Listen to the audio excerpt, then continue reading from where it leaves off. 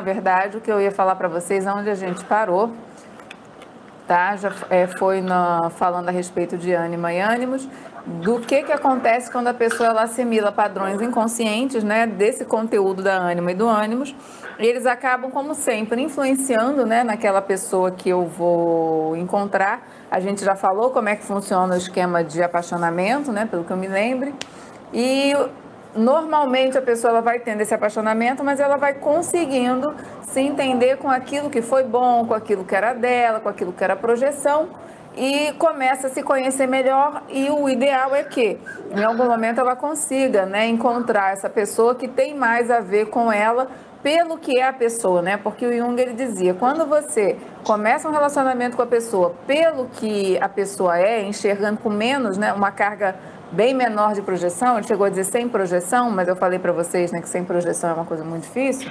Aí você consegue ter assim um, um, uma coisa que se chama amor, porque você está é, você tá numa interação legítima com aquela pessoa real e numa sintonia. Obviamente, isso é uma coisa rara de acontecer, mas acontece e é possível. Cada vez que a gente faz um trabalho de autoconhecimento legítimo, assim, a gente consegue se entender um bocado e limpar esse terreno, né? Hoje eu estava justamente atendendo uma paciente que estava com que ela me procurou por conta de um curso na Casa do Saber que era a respeito disso, né, de relacionamentos, né, de padrões, de reconhecimento de padrões. Aí depois ela assistiu a aula, ela quis ser paciente porque ela disse que ela reconhecia nela. E ela começou assim, ela claro que ela queria uma pessoa, né? Ela não queria ficar sozinha, assim, ela queria alguém. Mas ela, ela, em vez de baixar o Tinder, ela disse que ela ia fazer uma análise que ela achava que ia ser boa, que ela queria entender que padrões ela estava operando. E ela fez um trabalho assim, bem, ela estava muito afim né, desse, desse trabalho, muito receptiva. E ela conseguiu encontrar assim, e não, sem ela procurar ninguém, quando aconteceu alguma coisa que ela conseguiu dar um start, vocês acreditam que ela conseguiu uma pessoa para ela muito legal? com carga de projeção baixa, uma pessoa assim bem interessante, sem ela procurar. Então, quando a gente fala que isso foi agora, está sendo agora. Então, quando a gente fala que o que quando a gente faz um trabalho interno para descobrir esses padrões, realmente a coisa mais importante que tem para a gente realmente encontrar alguém, às vezes as pessoas duvidam, né? Porque isso, na verdade, é uma coisa que um introvertido talvez até entenda com um pouco mais facilidade. Quando a pessoa tem um grau de extroversão maior, não só isso, né? Outras coisas também, a pessoa tem uma tendência muito grande a colocar as coisas no de fora, né? Então, assim, se eu quero encontrar uma pessoa, eu tenho que ir para a night, embora a night não seja assim um dos melhores lugares. A pessoa coloca o encontrar alguém como sendo uma coisa é, muito física e racional. Eu vou me colocar porque eu vou ao mundo e vou deixar que alguém apareça. É óbvio que tem alguma, tem que ter alguma abertura. E essa abertura também, né, é o deixar ser visto.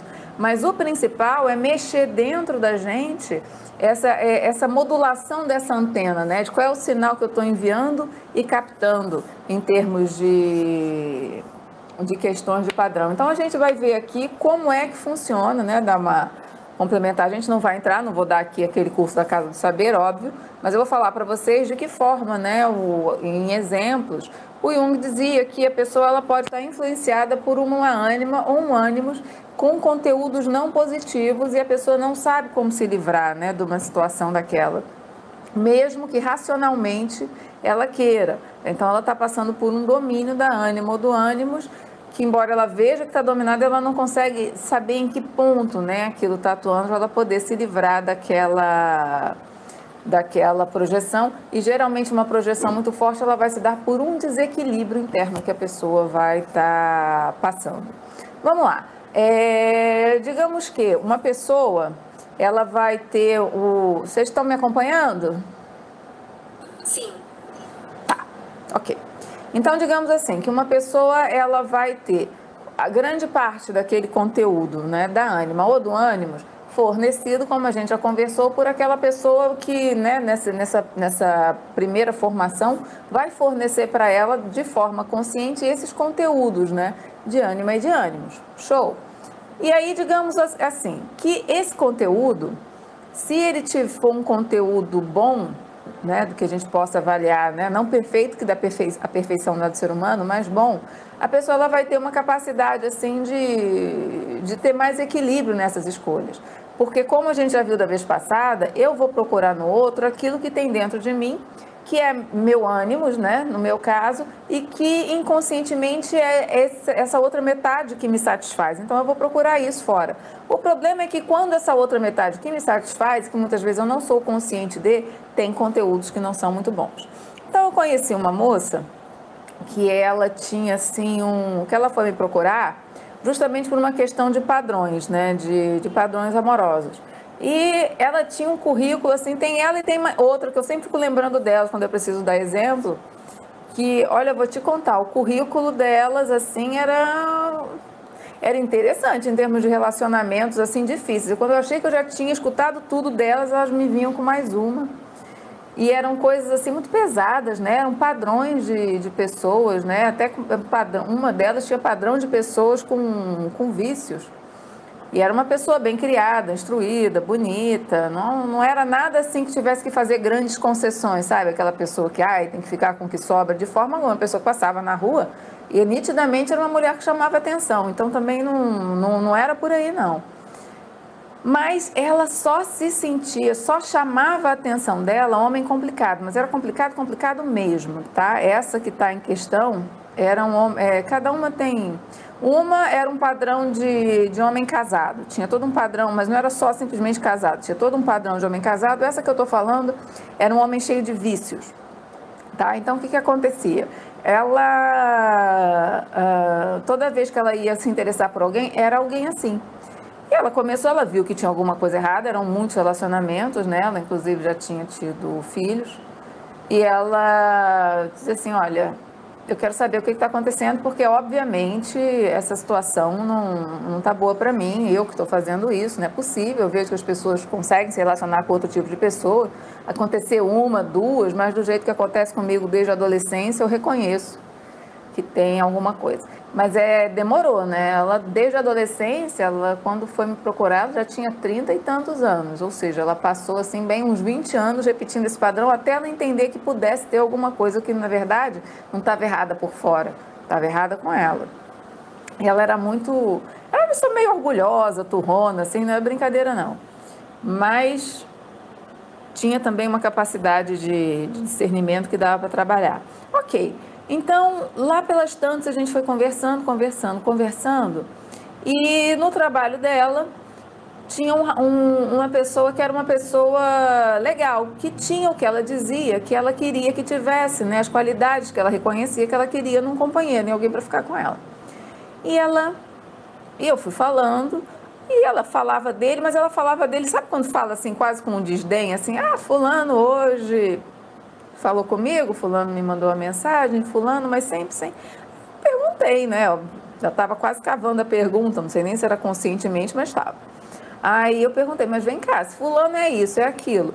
É, parece que ele condiz né, com o que você coloca como regra de uma pessoa que você acha que é uma pessoa boa para sua vida.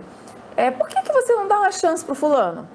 Aí ela saiu assim, gente, quase que automático, é, é de filme, é, caso clínico. Ela saiu e disse assim: Ah, Tatiana, muito bonzinho assim não serve, né? Ela nem se escutou, gente. Ela nem se escutou. Continuou me olhando com a cara de chuchu. Aí eu parei e falei assim: Não, peraí.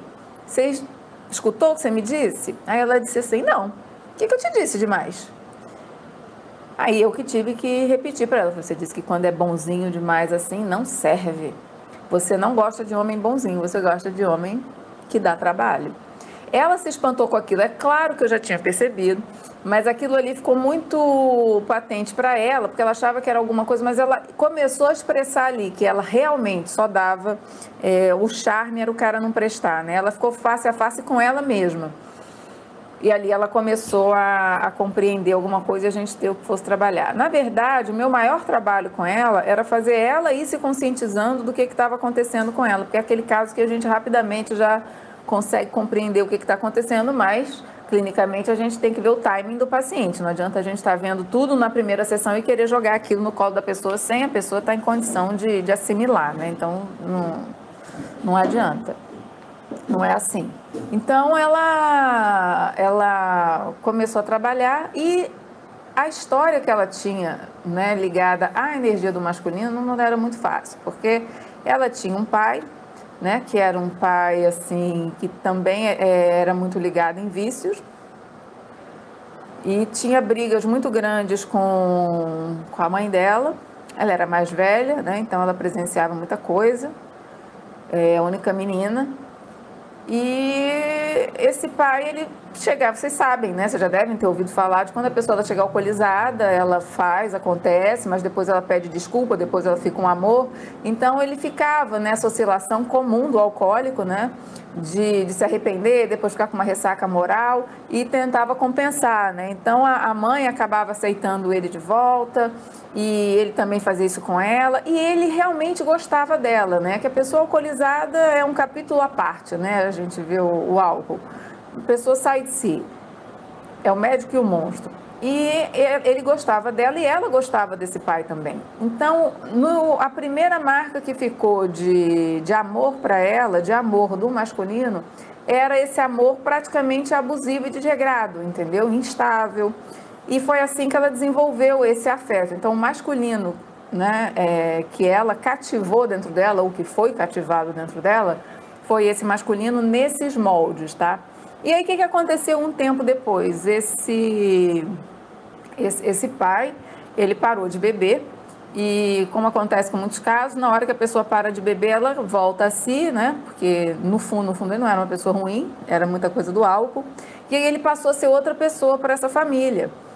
E a mãe dela, né, por ter aguentado aquilo tudo, ficou sendo assim aquela pessoa que todo mundo, ah, nossa, mas a fulana, fulana é uma santa, fulana é, aguentou, não sei o quê. E aí ela ainda desenvolveu, né, tinha uma questão, aí são outras questões, né, desenvolveu uma questão de, de competição com essa mãe. E aí na competição com essa mãe, essa moça simplesmente tinha que arrumar um, um viciado para chamar de seu e transformá-lo né, da mesma forma que essa mãe conseguiu. Então ela, ela queria, porque queria, é, repetir o modelo dos pais, que por pior que parecesse, por mais consciente que a gente olhe, aquilo ali estava afetivamente grudado dentro dela como um registro do que, que era uma relação de amor e do que, que ela precisava para ser uma pessoa bem sucedida, tanto quanto a mãe dela, né? E era isso, ela não sossegava enquanto ela não encontrasse uma pessoa que fosse parecida e que ela tivesse a mesma, o mesmo êxito que a mãe dela. É óbvio né, que isso é uma neurose e está implícito aí também o outro ele só entra enquanto ela precisava de um viciado que era para poder satisfazer as projeções dela e ela queria transformar essa outra pessoa que também tinha uma dose do tipo, ah, se fulano, eu, eu quero transformar alguém, por amor essa pessoa vai mudar. É uma das maiores falácias que existem, né? Porque comigo vai ser diferente. A gente às vezes, né, escuta ele, pacientes com outros casos também que nem são tão graves assim, da pessoa achar que vai mudar essa pessoa e tem uma certa questão até de, de um orgulho. Ela não está se relacionando com a pessoa, ela está se relacionando com o êxito que ela quer ter em moldar aquela pessoa, né? Em que aquela pessoa, por ela, vá ser uma pessoa diferente. Isso dá um status, isso dá uma segurança, isso dá uma característica de importância e outras coisas que podem estar lá dentro. E isso também era um dos componentes desse complexo dessa moça. Então ela só se sentia né, chamada, sintonizada por aquele tipo de homem. Tá bom para vocês?